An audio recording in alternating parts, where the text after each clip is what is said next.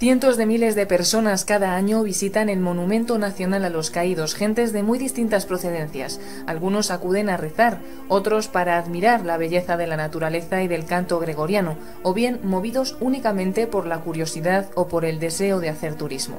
El Valle de los Caídos se convierte así en uno de los monumentos más visitados de España. El valle recibe una, barbaridad. Conjuntamente con el Escorial es el segundo monumento que se visita en España y curiosamente, si se analiza, está totalmente amortizado desde el punto de vista de inversión. Fue necesario que las piedras que se levantasen pudieran desafiar al tiempo y al olvido y rindiesen homenaje y recuerdo a los caídos en la contienda. ¿Se trata de una exaltación del bando vencedor en la guerra civil, como hoy muchos tratan de hacer ver, o es el monumento a la reconciliación entre los españoles? Un monumento en el que se hiciese el recuerdo de los caídos en la guerra pero la originalidad de la idea es que eran caídos de ambos bandos, no de uno solo. El Valle de los Caídos es una magnífica conjunción de naturaleza y de arte, hoy en peligro por el fanatismo laicista y anticlerical de ideologías trasnochadas. ¿Cómo se construyó la cruz más grande del mundo? en la construcción de la cruz misma no hubo un solo muerto. Eso es simplemente saber un poquito de, ingeniería o de arquitectura para saber que no hace falta 20.000 obreros para hacer aquello, ¿no? ¿Quiénes fueron enterrados allí? La cifra real es muy probable que se eleve hasta 50, 60 o hasta 70.000. ¿Qué fue y qué es el Valle de los Caídos?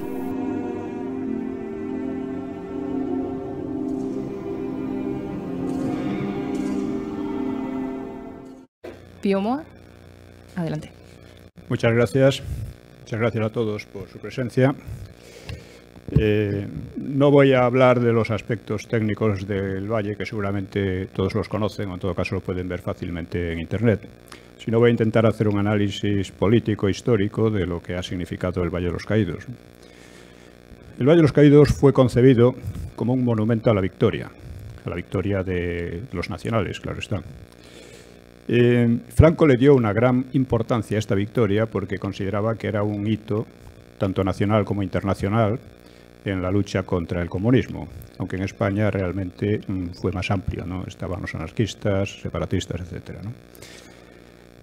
Y fue una, mm, digamos que, eh, aunque el monumento hubiera quedado simplemente como monumento a la victoria, ya se habría justificado porque fue una victoria sobre mm, una revolución que pretendía pues acabar por una parte con la base cultural cristiana de España y que llegó a, intentar un genocidio en ese sentido y sobre eh, partidos que querían disgregar la nación.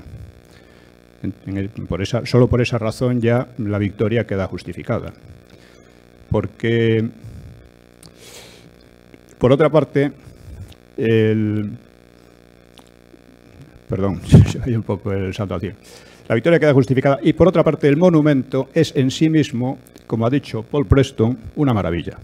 Es decir, es un monumento de una calidad eh, no solo histórica, también artística y monumental, como probablemente no se ha hecho ningún otro en el siglo XX. Aparte de ser un monumento a la victoria, es desde el principio un monumento a la paz, Algún necio dijo que con la guerra llegó la victoria, pero no la paz. Llegó la victoria y con la victoria la paz, que dura hasta ahora. Y es de esperar que siga durando. Ha sido el periodo de paz más prolongado que ha vivido España en dos siglos al menos. Y esta paz además ha sido una paz fructífera. Durante ella España se ha vuelto a levantar realmente, ha logrado una prosperidad como nunca había logrado antes, en la época franquista y, posteriormente también, aunque ahora estemos en una crisis muy grave. Ha sido una paz, eh, digamos, ha sido una guerra en cierto modo fundacional. A veces se oye decir que las guerras civiles son estériles, etcétera, etcétera. Las hay que lo son, evidentemente, pero esta no lo fue. Y la prueba, ya digo, es la paz de que estamos disfrutando. En tercer lugar, es un monumento a la reconciliación, cosa que, eh, un carácter que adquirió años después, con el entierro de combatientes de los dos bandos en, aquel lugar. Es un monumento a la reconciliación que ya se logró entonces. O sea, habrán oído ustedes decir muchas veces que la transición consiguió la reconciliación entre los españoles. Eso no es cierto, lo más mínimo. consiguió una falsa reconciliación entre los partidos y determinados personajes, pero una reconciliación que fue bastante falsa, como hemos visto, ¿no? Y estamos viendo. Pero eh, la reconciliación entre la masa de los españoles estaba conseguida desde mucho antes. ¿Desde cuándo? Pues estaba conseguida desde los años 40 mismo. En los años 40 se suele olvidar que al terminar la guerra civil, el bando vencido, que agrupaba bueno, a millones de personas que habían o votado al Frente Popular o combatido por él, etc. Este bando, eh, estos combatientes y estos votantes y estos simpatizantes habían experimentado lo que era la revolución en sus propias carnes. Es decir, la, época de mayor hambre en España en el siglo XX fue precisamente el año 38 en el bando del Frente Popular. Habían experimentado eso, habían experimentado la arbitrariedad, las peleas, luchas y asesinatos entre los propios eh, miembros del Frente Popular, partidos del Frente Popular. La guerra terminó una guerra, en otra guerra civil entre ellos mismos, lo cual es muy significativo. Habían visto cómo los jefes se marcharon todos, llevándose unos inmensos tesoros que habían saqueado a, todo el mundo. Incluso los montes de piedad, donde la gente humilde depositaba sus alhajas, se llevaron hasta eso. Eso aparte de lo que robaron en las iglesias, lo que robaron en los bancos, las cajas de seguridad de los bancos, etcétera, etcétera. Y por consiguiente, si tenían, si, si, les quedaba alguna duda, desde luego, y por muy dura que fuera la represión franquista, que lo fue, eh, nadie quería volver a aquellas maravillas del Frente Popular. Esto quedó bien de relieve cuando terminó la Guerra Mundial y los comunistas, sobre todo, intentaron el maquis. El maquis era un intento de volver a la guerra civil en la perspectiva de que los aliados que habían o estaban a punto de vencer a Alemania intervendrían en España y de un soplo barrerían a Franco, etc. Además, el maquis contaba con que en España había entonces mucha miseria, había hambre, en gran parte determinada por la guerra mundial, por el semi-boicot aplicado por los británicos y luego por el aislamiento internacional. Es decir, que las condiciones objetivas, vamos a decir, como decían los, marxistas, decíamos, las condiciones objetivas eran excelentes para que la gente se sumara al maquis y llevara adelante pues, eh, una nueva guerra civil, pero con perspectivas de triunfo rápido. Y sin embargo no ocurrió nada de esto. Lo que ocurrió fue que la masa de la población, incluidos por supuesto los antiguos simpatizantes del Frente Popular, le dieron la espalda al maquis, de tal manera que éste no arraigó y no consiguió en ningún momento eh, montar una verdadera guerra de guerrillas. O sea, las guerrillas degeneraron rápidamente en bandolerismo. Bueno, pues esto es el significado del monumento del Valle de los Caídos. Pero desde hace unos años estamos asistiendo a una campaña muy intensa contra él. Es decir, ¿y por qué? En primer lugar, porque, mm, por lo que he dicho, el valle tiene una significación histórica y política de primer orden. Y destruir esa significación pues, mm, podría ser un, gran tanto para aquellos partidos y personas que se identifican con el Frente Popular. Aquí hay una cosa muy extraña. Y es por qué estas personas se identifican con el Frente Popular y dicen, mintiendo, claro está, que era la democracia, incluso que era la república, porque siempre se habla de los republicanos y es, un error. el, Frente Popular se componía pues, de stalinistas, de marxistas eh, del PSOE, que eran incluso más radicales que los stalinistas, de anarquistas, de golpistas como Azaña o de separatistas como los nacionalistas catalanes y vascos, etc. Este era el conjunto eh, al, que venció, al que venció Franco. ¿eh? Y decir, pretender que esos eran demócratas es una cosa tan absurda como pretender que lo eran que los nazis eran amigos de los judíos. O sea, no, o sea, no cabe en la cabeza de, nadie que vea las cosas con un mínimo de objetividad. No había ni rastro allí de democracia.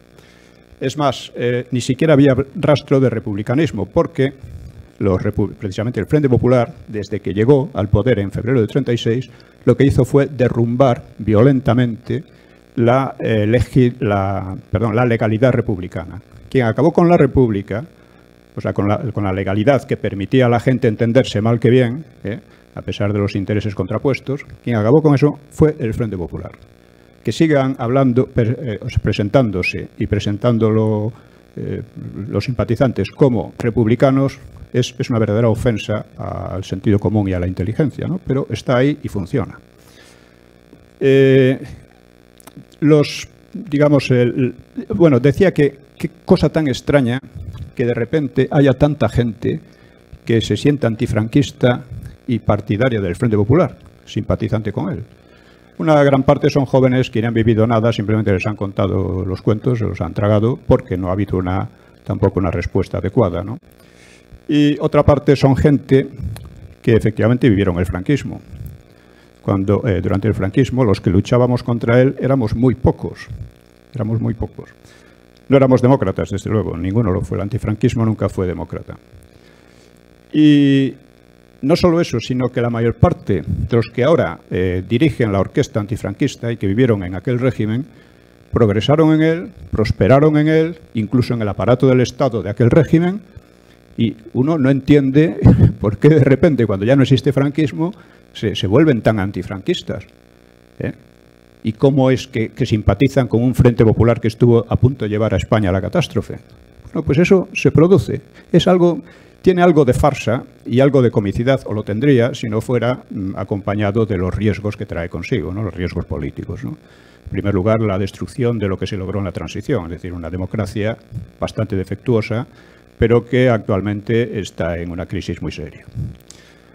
Esta gente, por otra parte, em, está en contra de la, de la reconciliación. Es decir, cuando uno intenta es decir, no pueden soportar la victoria, la victoria de los nacionales en aquella época. No pueden soportarla, no se sabe por qué. Y quieren invertirla, por lo menos en las palabras. Y junto con invertirla, eh, pues implica también atacar la, digamos, la, realidad histórica, que es algo que hacen constantemente. Y además atacar la reconciliación que ya digo se logró entonces. La reconciliación, eh, o sea, en un partido revanchista que intenta volver atrás la historia, pues mm, lo único que puede conseguir es crear más divisiones entre los españoles, más odios. Los odios fueron lo que cundió la República, los odios entre partidos y grupos, etc. Y em, esto es precisamente el fin que persiguen todas estas demagogias y estas propagandas.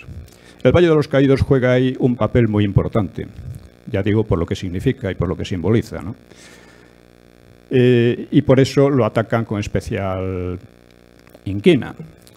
No es que no tengan derecho a atacarlo, ellos cada uno puede atacar lo que le dé la gana, pero el problema es que para atacarlo necesitan recurrir a una constante intoxicación de la opinión pública con mentiras de todo tipo, desde los 20.000 presos políticos que dicen que, construyeron el valle. Recuerdo hace poco Preston dijo, ¿quién es Preston? No? Dijo que el valle era una maravilla, pero que había que poner allí una digamos, una placa indicando que fue construida por presos republicanos. es una barbaridad eh, tremenda, ¿no? Ahora, yo no estaría en contra de que se eh, pusiera una placa diciendo en la construcción del valle trabajaron unos pocos centenares de presos del Frente Popular acusados de crímenes, eh, redimiendo penas por el trabajo y dándolas incluso hasta cinco días por cada día trabajado y cobrando jornal. Si dice eso, no hay ningún problema. Ahora, si dice que hubo, hubo 20.000 eh, presos políticos trabajando en trabajos forzados, en régimen de trabajos forzados, pues claro, eso es, una falsedad más. El hecho de que esta gente necesite recurrir a la, mentira tan constante viene de que su propia ideología y su propia visión de la historia es falsa. Y lo que para mí es un enigma es por qué, de manera tan innecesaria, porque ya digo, ninguno de ellos luchó contra el franquismo realmente, y los que lucharon, tipo Carrillo, pues, en fin, más vale olvidarlos, ¿no? Pues eh, uno se queda perplejo al ver gente que, ya digo, que hizo toda su carrera en el franquismo y la hizo muy bien, y de repente se sienten furiosamente antifranquistas, atacan al Valle de los Caídos como un símbolo franquista, que lo es, es un símbolo de la victoria, de la paz y de la reconciliación, y todo eso se alcanzó bajo el franquismo realmente. Bien, esto es la, situación. ¿Qué se puede hacer? Pues, en mi opinión, hay que dar una respuesta adecuada al ataque.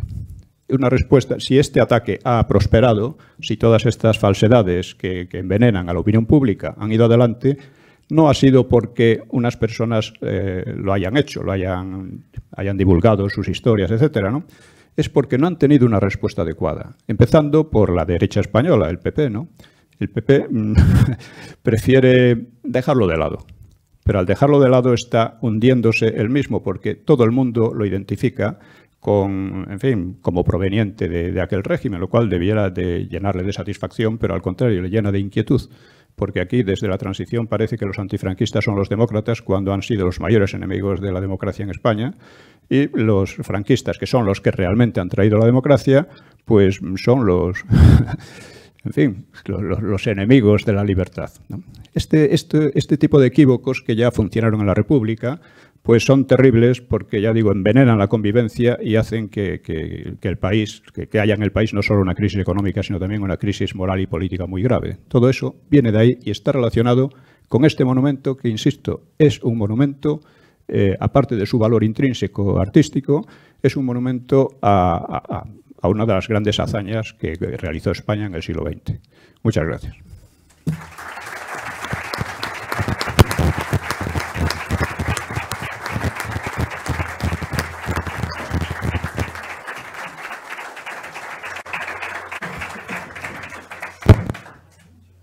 Vamos a pasar ahora al turno de Alberto Bárcena. Eh, bueno, yo no puedo estar más de acuerdo con lo que se ha dicho hasta ahora. Mm, verdaderamente el problema del Valle de los Caídos, ante todo, hay que dejar claro que es una cuestión religiosa, mucho más que política, aunque evidentemente ambas cosas en este caso están muy relacionadas, como lo están siempre, pero en la situación española actual lo están de una forma especial, lo que se está cuestionando en el Valle, yendo al grano directamente, es nada menos que eh, la propia Constitución, eh, nuestro sistema de gobierno, porque yo creo que hay que englobar todo lo que está en cuestión aquí. Y por eso es por lo que hemos asistido a una campaña que, hemos denunciado aquí, yo ya soy el tercero, eh, claramente dirigida a ese fin. Y sería engañarse pensar que el problema es que esté ahí enterrado Franco o José Antonio. No es eso, ni mucho menos. Eh, eso es una parte del problema porque además, en el caso de Franco, representa eh, no solo un periodo histórico, sino también un periodo histórico en el que España se gobierna mm, por gobernantes católicos. Mi tesis doctoral es eh, precisamente, acá, recién terminada, tiene este, este objeto. El objeto de mi estudio es el Valle de los Caídos, concretamente la construcción. Es decir, el periodo en el que se han centrado todos los mitos adversos para tratar de demonizar el valle como un lugar maldito. Precisamente por eso empecé yo mi tesis ahí. Eh, empecé a realizar esta tesis ya cuando hace unos años, cuando yo la empezaba, se veía venir lo que vino luego, porque se vio venir. Y efectivamente creo que fue oportuno empezar a hacerla con tiempo porque me encontré, y eso fue providencial, con un fondo importantísimo documental eh, que me ha permitido, eh, consultando las fuentes primarias, contrastar la realidad histórica con todo lo que se ha publicado desde el inicio del milenio aproximadamente y mucho más durante las dos legislaturas de Zapatero a través de una historiografía subvencionada por el Gobierno con una finalidad bien clara. Desgraciadamente tengo que decir que al lado de periodistas y espontáneos que se han lanzado a publicar y opinar sobre el Valle, pues también hay eh, profesores de universidad, catedráticos incluso, que han manipulado la historia de una forma totalmente deliberada no cabe engañarse, no es que se crean que eso fue así. Han urdido una trama mm, a base de mentiras históricas, mentiras históricas no, mentiras que no lo son, porque son contra la historia, ¿no? Y se han levantado una serie de mitos que yo desde luego estoy en condiciones de rebatir uno tras otro. Empezando por mm, todos los que están aquí, lo habrán oído mil veces, empezando por la cuestión del número. Ya Piomo al principio hablaba de los supuestos 20.000 trabajadores bueno, trabajadores no, esclavos que fueron llevados allí, porque también se ha urdido esa, otra mentira, la, condición de esclavos de aquellos que fueron allí llevados, o de trabajadores forzados, cuando en realidad, por supuesto que no fueron 20.000, aunque yo siempre digo, desde que me ha tocado hablar de este tema, que eso sería lo de menos. La cuestión del número para mí es irrelevante. Por supuesto que puedo demostrar, porque tengo esos documentos, esas fuentes primarias, que rara vez alcanzaron, porque hubo oscilaciones, claro, durante los años que duró la obra, rara vez llegaron a ser mil. Alguna vez sobrepasaron los mil, pero muchas veces no pasaron de 600 o 700 trabajadores en el valle. lo cual, claro, por supuesto nos aleja hasta lo escandaloso de las cifras que se han dado sin la menor base documental. Pero bueno, yo digo que eso, siendo importante, porque las cifras lo son en historia, es secundario. Lo importante para mí es determinar qué hacían allí esos trabajadores eh, que participaron en las obras. Primero hay que establecer, para el que no lo sepa, que muchos de ellos eran libres, sencillamente contratados por las empresas que allí trabajaron, que los llevaron libremente, eligieron ir allí porque tenía una serie de ventajas grandes que luego analizaremos. De los que fueron trabajadores reclusos, los penados, eh, es importante determinar que tampoco los llevó nadie a la fuerza, ni mucho menos, como ha publicado eh, una buena parte de esta historiografía. Historiografía, porque eso es lo lamentable. Insisto, hay eh, profesionales de la historia que lo, han, que lo han subrayado, que lo han respaldado. Nadie los llevó allí. Hay una figura jurídica, la redención de penas por el trabajo, establecida por el régimen de Franco antes de acabar la guerra, al que se acogieron cientos de trabajadores penados precisamente por las ventajas que representaba. Y una vez que se analizan las ventajas que para ellos tuvo el ir al valle, comprendes que si hubieran sido 20.000, pues mejor si hubieran sido todavía 100.000, 100.000 que se hubieran beneficiado de unas ventajas verdaderamente extraordinarias. Em, lo que es increíble es que cuando muere Franco al poco tiempo, hay algunos escritores, la mayor parte de ellos adversos al franquismo, por supuesto, en mayor o menor medida, que recogieron testimonios de los que habían trabajado allí. El primero es el famoso libro de Sueiro, nada franquista, desde luego, pero que al menos tiene el mérito de que, como ahí hablan los presos, pues ocurre lo de siempre, porque yo he podido constatar que incluso hasta la fecha, cuando se recogen testimonios de los presos que estuvieron allí, quitando algún caso muy sectario e incluso en ese caso, cuando hablas un rato con ellos, cuando el testimonio es largo, eh, surge, quieras que no, la verdad. Y se desmantela todo lo que se ha urdido.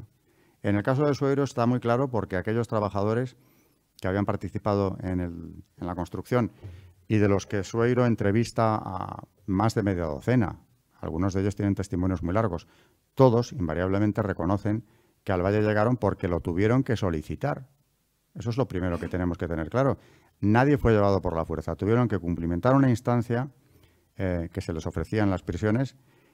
Hubo un filtro porque no cualquiera era admitido y de esos, eh, los que llegaban al Valle sabían que se comprometían a, observar allí una conducta mínimamente responsable, en el sentido de que tenían que trabajar porque iban a eso, pero iban allí porque lo habían pedido. ¿Por qué lo pedían? Pues hombre, las ventajas eran tan grandes como que en principio el sistema contemplaba que por día trabajado se reducía día de condena. Posteriormente, al principio, la redención de penas establecía que era día de condena redimido por día de trabajo. Muy poco después son dos días, para pasar a tres, cinco y hasta seis. Se podían redimir seis días de trabajo, no solo en el Valle, sino dentro del sistema penitenciario, el que se acogiera a la redención de penas, con lo cual ya ahí tenemos eh, un, motivo objetivo verdaderamente importante para los presos. Pero es que además de eso cobraban un jornal, claro que lo cobraban, con lo cual colaboraban al mantenimiento de sus familias, eh, tenían una cartilla de ahorros al final que se les entregaba cuando cesaban en los trabajos y en el caso del Valle, además, eh, fueron privilegiados porque pudieron llevar allí a sus familias. Muchísimas familias de presos acabaron viviendo allí con ellos con las ventajas enormes que eso eh, representa, porque no solo tenían unas viviendas gratis bastante dignas, mucho más que las que podían conseguir trabajadores libres aquí en Madrid, en una época terrible donde empiezan a crecer poblados chabolistas en la posguerra verdaderamente terribles, muy alejados de lo que era la, vida en el valle. Esas familias en el valle, eh, y yo he podido, he recogido testimonios de muchos de ellos solicitando llevar allí a sus familias, pues llevaron una vida más que normal. Era una vida como la que se podía tener entonces en un pueblo eh, donde hubiera una vida desahogada, ¿eh? porque en muchos pueblos españoles de la época la vida era mucho más apurada, mucho más dura para sus habitantes de lo que fue para aquella comunidad del valle. Tenían una escuela, por supuesto gratuita, a la que no se les daba opción, era obligatorio.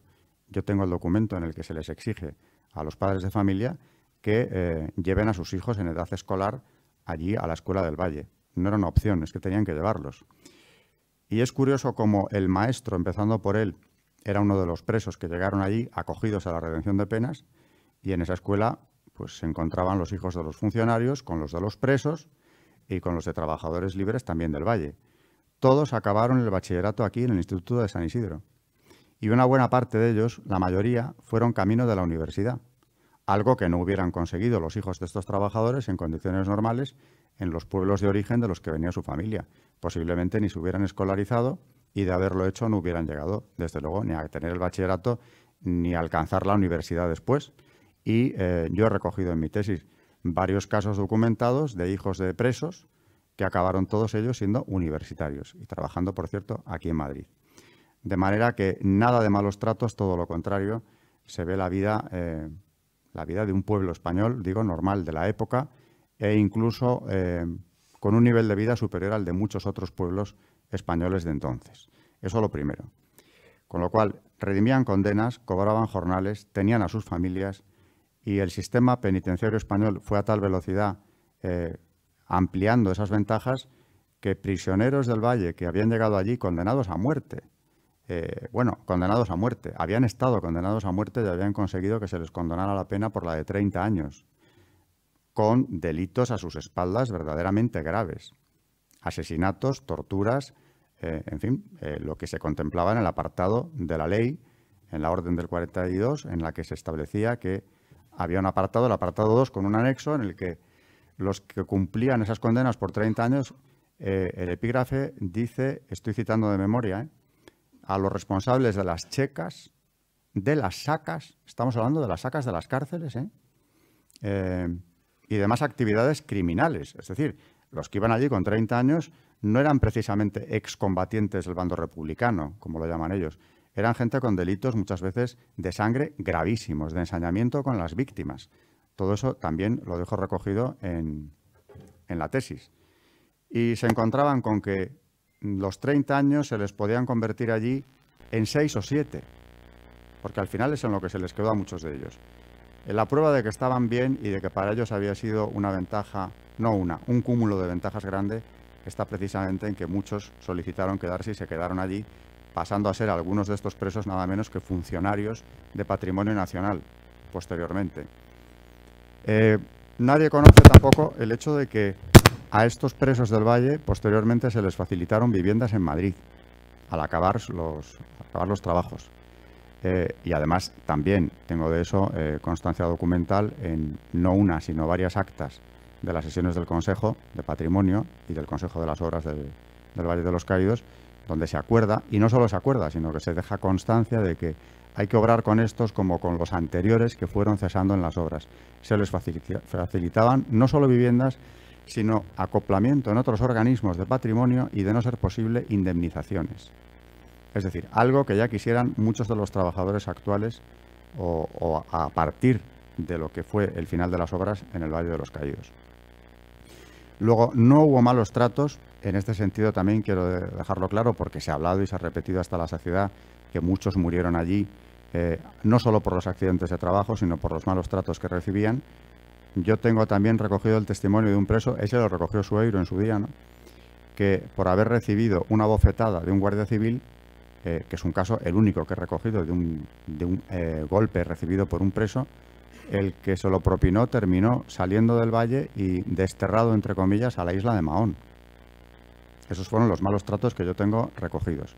Las fugas, pues se producían con una facilidad pasmosa. El caso de Sánchez Albornoz es famoso porque se fue andando por el valle, por el monte, y había quedado en el monasterio del Escorial con unos amigos que se lo llevaron en coche a comer al parador de turismo de Medinaceli ese día para seguir viaje a Barcelona, donde durmió y salió dos días más tarde a Francia, en aquel estado supuestamente represivo, durísimo, del franquismo.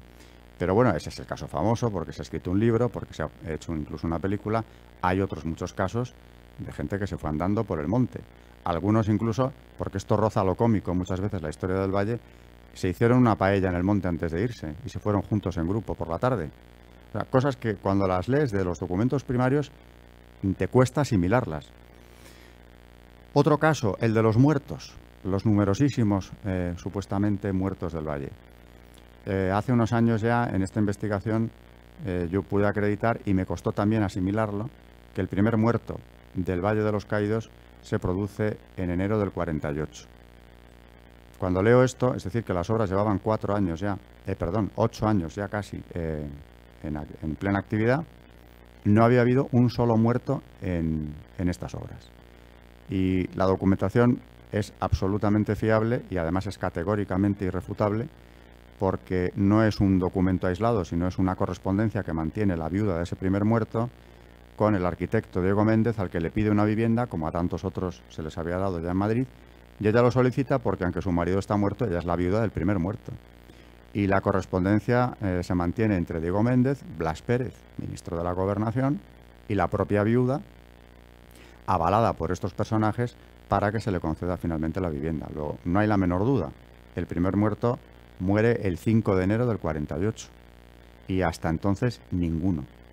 Y a partir de ahí yo he podido documentar otros dos muertos más, pero por los testimonios más fiables, concretamente el del médico, del botiquín, que era otro preso, por cierto, y por el practicante, otro preso más, que trabajaba en el Valle de los Caídos, pues las cifras más mm, fiables quizá oscilan entre los 14 a 18 muertos en el total de los años que duraron las obras. Es decir, muy por debajo de la siniestralidad media laboral en la España de la época en obras de este tipo. Otra mentira más. Bueno, entonces podría seguir hablando de todo lo que yo he descubierto. Mm, me gustaría detenerme, aunque ya vamos mal de tiempo, en el hecho de las peticiones de los obreros, eh, trabajadores penados, muchos de ellos, a las autoridades del Valle, donde piden no solo llevar a sus familias, sino llevarles allí a hijos, nietos y sobrinos a pasar el verano, porque aquello fue también un punto de veraneo. Se duplicaba en algunos años la población del Valle de los Caídos durante los meses de verano. También lo tengo amplísimamente documentado, no solo por parte de los documentos de regiduría, sino de las cartas que se les exigieron a partir del 50 a los que allí vivían, explicando quiénes entraban en sus casas, quiénes se quedaban allí y solicitándolo. Por cierto, se les concede a todos, prácticamente sin excepción, la permanencia de sus familias. Y, digo que por allí pasaban no solamente eh, parientes, sino incluso amigos, a tenor de lo que las cartas nos dicen, de aquellos trabajadores del valle. Algunos vivan para tres semanas, para un mes o más. Junto a estos, por cierto, se reunían también hijos y nietos de trabajadores del valle que vivían permanentemente allí, aunque sus padres no lo hicieran, porque en algunos casos eran eh, no hijos, perdón, sobrinos o nietos de los que trabajaban allí, y explican al regidor que eh, lo habían solicitado o les habían llevado sin autorización para poder ayudar a sus familias que estaban necesitadas, o bien porque la salud de los niños era precaria, lo cual es un dato que nos hace pensar, porque si los abuelos o los tíos querían llevarlos allí para que se recuperasen de enfermedades o de inapetencia, porque eso lo he visto en más de una carta, era porque verdaderamente aquello no era el lugar de exterminio, ni mucho menos que se ha querido presentar. Era un lugar que las propias familias parten de la base de que es saludable y de que los niños allí van a poder crecer o incluso recuperarse de enfermedades con más facilidad que en Madrid. Otros alegan simplemente el calor terrible de Madrid en el verano para llevar allá a los nietos. Es decir, lo que se ve, además, es que estas peticiones están fundamentadas en la confianza de que las autoridades que las tienen que autorizar son gente humana que va a atender las peticiones en orden a qué? A argumentaciones completamente humanas, a razones tan de tener en cuenta, por supuesto, pero siempre partiendo de la buena fe o de la buena disposición de las autoridades, eh, peticiones que están argumentadas en eso. La salud de los niños, el, el afán de reunir a toda la familia en verano, que también lo dicen. Cuando piden las casas, muchas veces piden unas viviendas mayores para que quepan cuando vengan en vacaciones toda la familia al completo y se les dan. Pero eso también dice mucho de cuál era el ambiente del valle. Eh, un ambiente en el que la gente se anima a hacer peticiones como esta, pues quiere decir que el trato recibido por parte de las autoridades era no bueno ni correcto, era excelente. Hay muchísimos documentos, hay favores que se les hacen a los presos, cartas de recomendación a estos presos verdaderamente impresionantes, no una vez, sino en algunos casos muchas cartas que le respaldan para conseguir un trabajo después del valle. La actitud no puede ser mejor, eso eh, lo tengo constatado documentalmente y aporto por eso en la tesis, porque comprendo que es eh, escandalosa en un sentido, un apéndice documental amplísimo de toda esa documentación que he ido a lo largo de los años sacando de allí. Entonces, ¿qué ocurre? ¿Por qué se ha mentido tanto? No un poco, porque no estamos hablando de una interpretación más o menos sesgada de unos hechos. Estamos hablando de una leyenda premeditadamente elaborada una leyenda negra que va totalmente en contra de la verdad. No se desvía, va en contra. Ha creado algo de la nada, ha creado una historia verdaderamente terrorífica, donde al acercarte a las fuentes, insisto, lo que te encuentras es la cara contraria a la realidad que ellos quieren pintar. ¿Qué es lo que hay? Pues lo que han apuntado ya o lo que se ha apuntado en esta mesa hoy, ¿no? Hay una cuestión eh, religiosa, por supuesto, hay un laicismo rampante por parte de los, eh, de los socialistas, en este caso han sido los gobiernos, las dos legislaturas de Zapatero las que han puesto al Valle en una situación tan comprometida y no se han parado en barras. Han instrumentalizado al organismo de patrimonio nacional para asfixiar a la comunidad benedictina, que ciertamente ha resistido eh, como David ante Goliat, ante todos los medios de un gobierno dispuesto a acabar con esa comunidad, dispuesto a acabar con el culto en el valle. Yo creo que hay que llamar la atención sobre un fenómeno verdaderamente grave, porque los socialistas no están en el gobierno, pero volverán antes o después, yo creo que pronto además. El PP tampoco se ha implicado en la defensa ni del Valle, ni del franquismo, ni de lo que representó la historia de su construcción, ni la historia del franquismo mismo, con lo cual tampoco por ahí se puede esperar una defensa firme, ni muchísimo menos, como mucho una menor agresividad en la cuestión.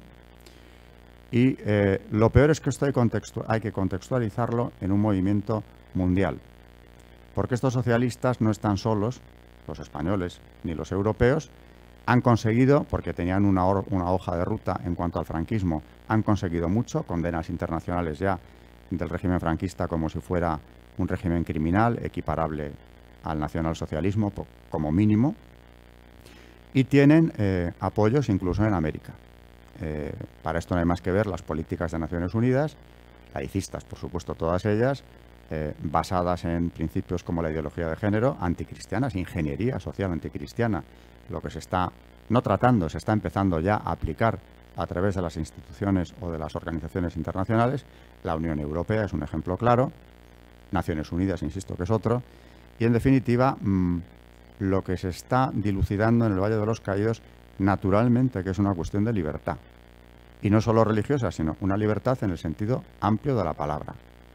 Si consiguen sus fines, es decir, acabar o cerrar el culto eh, en el Valle de los Caídos, pues eso será solamente la parte más visible de una política amparada en esa ley de la memoria histórica o en las asociaciones de la memoria histórica que han ido en esa dirección, que tiene un objetivo claro que es terminar con la libertad religiosa, porque al final, en defensa de esa libertad, se puede afirmar sin ningún tipo de complejo que la Iglesia Católica se ha quedado sola.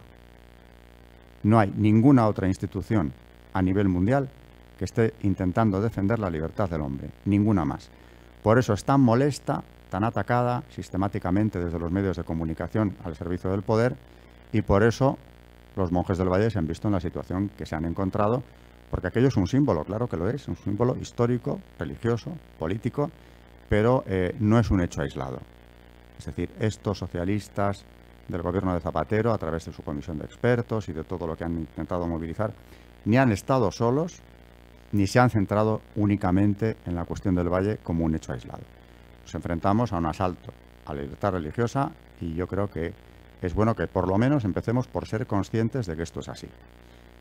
En lo que a mí respecta, estoy en condiciones de afirmar que todo lo que se ha dicho sobre la construcción del valle es una inmensa calumnia. Gracias.